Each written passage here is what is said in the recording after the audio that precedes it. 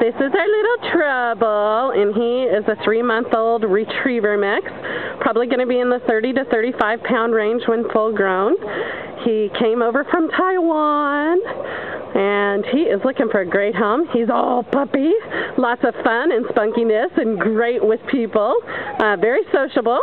So he is going to make an excellent family companion.